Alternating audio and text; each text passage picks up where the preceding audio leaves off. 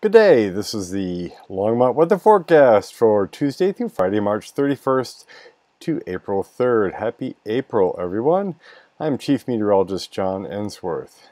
Let's look at the April 1st, Wednesday moon. We're at first quarter. Oh, it says waxing crescent. Well, it really is almost because it's not quite at 50 percent visibility it's about 47 percent illuminated got to go out later at night to get the exact first quarter but close enough all right. There is a big storm coming, so let's talk about this thing. Uh, first off, we have this conveyor belt of moisture coming out of the tropics across the southern tier of states. Like our last storm that uh, moved in the mountains and kind of tapped into that moisture, uh, gave us a, a, good amount of uh, snow and, and rain. So we're going to get it repeated again. In fact, this will be the fourth Thursday, Friday window in which we've had a cold snap and a storm move in. at least a little bit of snow on a Friday. So kind of interesting. You can get patterns where the um, jet stream is uh, kind of repeating at a seven day cycle in any certain location. And that's what we have going here. Up in the Pacific Northwest, you can see a low, and this is going to be what's digging down and tapping into some of the colder uh, Arctic air to bring down into the States. The Arctic air is not going to directly hit us. It's going to kind of slide past us to the northeast, but it'll give us a uh, enough cold air for snow and put us on the boundary with this moisture to give us uh, some good precipitation. Well, let's look at it. By midnight Tuesday AM, probably before this video goes up, or maybe just by the time this video goes up, um, you can see the big sloppy mess coming into western Canada and the northwest of US. Got a big surface low, got a cold front ahead of it, snow in the mountains, rain at the lower elevations. Down in our neck of the woods, our little chance of showers on Monday is moving out on the plains. There's a deep southern low riding through the jet stream down there.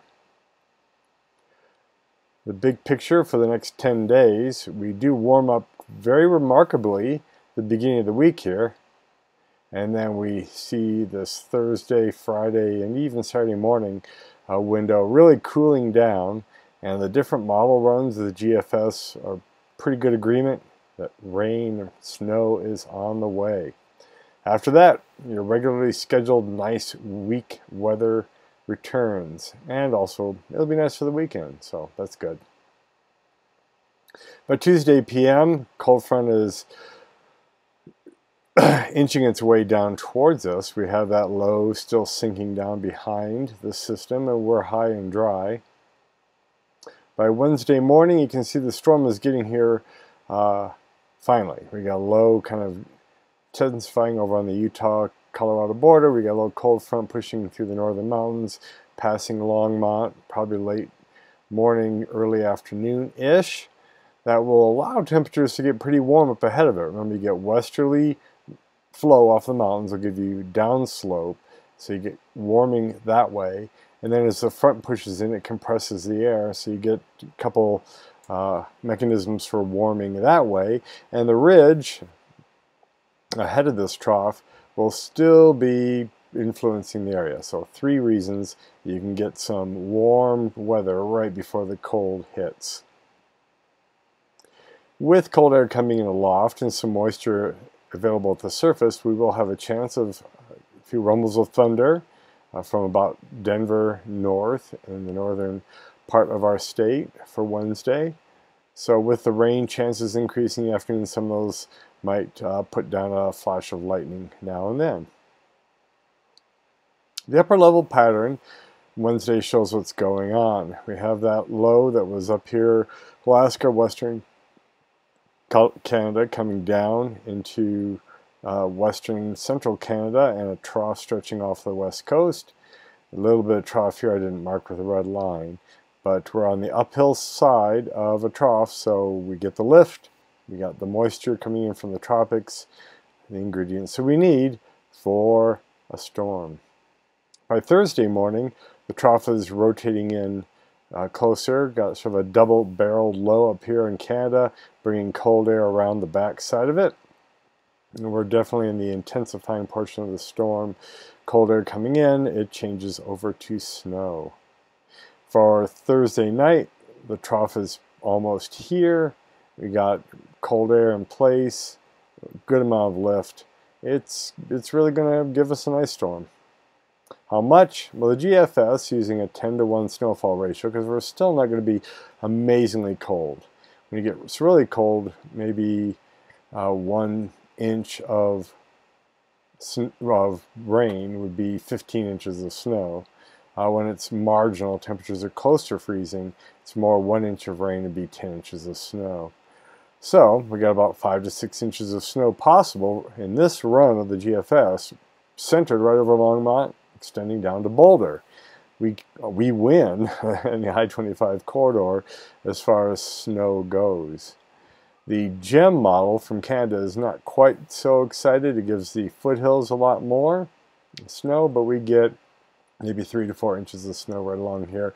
Right out on the plains, you get some downslope off the Cheyenne Ridge there. Uh, you get a little uh, banding down here in the southern uh, west uh, eastern plains of, of the state. But we're in a little notch here of maybe three to four. Go over to Firestone, it might be two to three. Go a little bit further east and you're down to an inch or so. The amount of moisture we're expecting to get through Saturday noon be about a half inch to three quarters of an inch. Lucky folks might even pull off an inch of water. So if you don't have your spring fertilizer out yet, uh, this would be a good time to do it because this will water it in nicely and uh, maybe give you some weed control. That's what I plan to do. So looking at the entire week, we start out really warm with showers increasing uh, Wednesday afternoon into the evening. One cold front comes in in the early afternoon around noon. Another cold front comes over in overnight, really dropping the temperatures into the 30s for Thursday, down to the teens Friday morning. We start bouncing back pretty quickly on Friday to the 40s and then back to the 60s and 70s for the weekend. But Thursday is going to see a lot of snow. Not that you're probably going anywhere. For more local news, take a look at the longmontobserver.org. My weather column there is updated quite frequently to keep up with uh, events in the weather and to show you snowfall and rainfall totals after the fact. So please visit there. This has been Chief Meteorologist John Ensworth for the Longmont Public Media. This has been your Longmont weather forecast. Keep looking up.